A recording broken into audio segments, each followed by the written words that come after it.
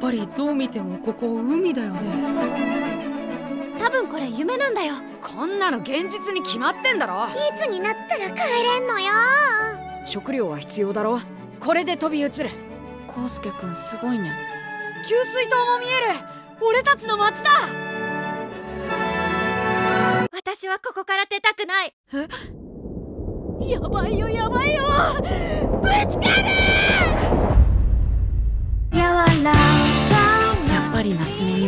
康介くんが必要だよ。お前なんであいつのことそんなにわかんだよ？やっぱ無理だよ。私たち帰れるんだよね。